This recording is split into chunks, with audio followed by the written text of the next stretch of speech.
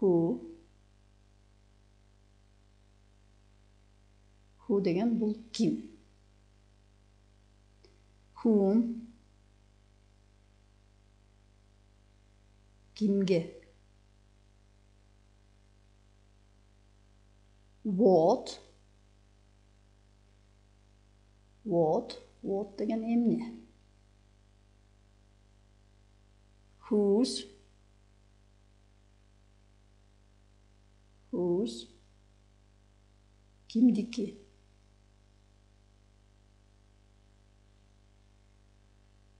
Which which kaysı? Why? Why? Emine üçün. Emine üçün. Where? where кайда when when качан деген ата тооштор демек сурама ата тоошторго кирет экен бул ата тооштор дайыма суроолуу сүйлөмдө колдонулат экен дагы мисалы үчүн бир мисал келтирсек who goes to the cinema with him? Who goes? Who goes to the cinema? Cinema with him.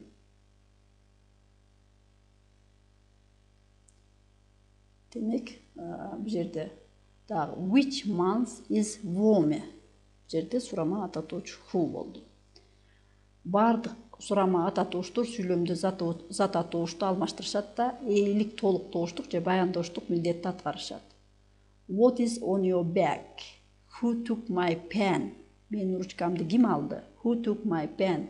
whom did you speak to сен кимге сүйлөп жаттың эле who whom whose деген зат атооч адамдарга ал эми what буюмдарга тиешелүү демек бул жерден эсиңерге салып коюшуңар керек экен who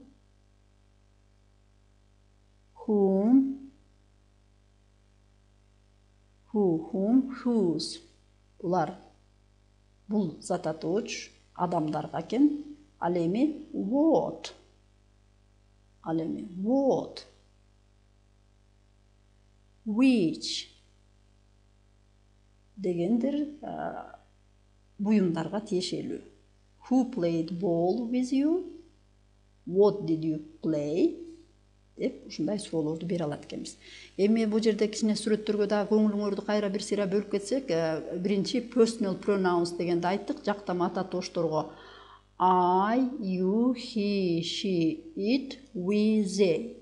болбосо me, you, him, he, it, us, them. Демек бул эмне? Мен, сен, ал, ал, it дагы ал. Бул жерде биз көңүл бөлө турган нерсебиз могу he эркектерге тиешелүү, ал эми she аялдарга, кыздарга тиешелүү. It болсо жаныбарларга анан буюмдарга айтат экенбиз we биз they алар мага мени деп которулат экен мына могу ми you болсо you you эки жакта тең бирдей колдонулат көптүктө дагы жекелик санда дагы you you көрүп турасыңар you you демек сен же болбосо сиз силер көптүк түрдө хим ага. Хим ага. Хё бул дагы ага кыздарга тиешелүү болуп калат. Хё аны ага деп да которобуз. Ит дагы ошондой которулат жанакы. Жаны жаныбарларга же буюмдарга ит ас бизге дем аларга. Анан бул жерде дагы биз май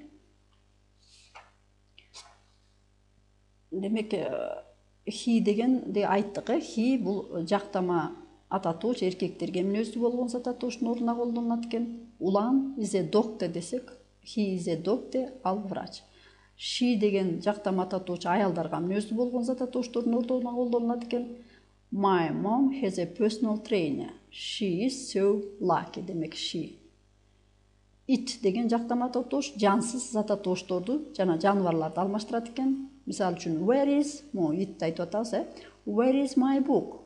I left it on the table. Where is my book? I left it on the table where is the dog? It is under the table. Демек it is көрдүңөрбү жаныбарга анан жансыз нерсеге коюлду. Анан дагы көңүлүңөрдү дайыма бөлүшүңөр керек. Ай деген ата тоош дайыма чоң тамга менен жазылат. Бул ай дайыма чоң тамга менен жазылат. Ал эми таандык ата тооштор болсо таандык ата тооштор болсо булар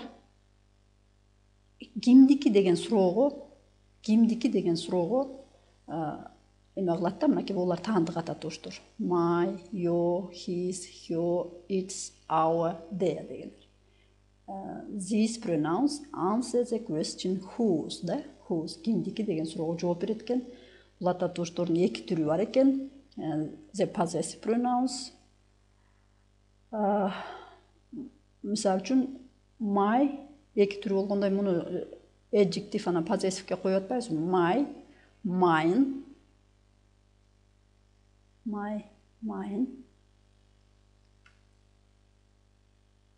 meniki your yours your yours сеники же болбосо силердики силердики his аныкы алардыкы аныкы хё дагы аялдарга кыздарга тиешелүү бул аныкы деп айтабыз.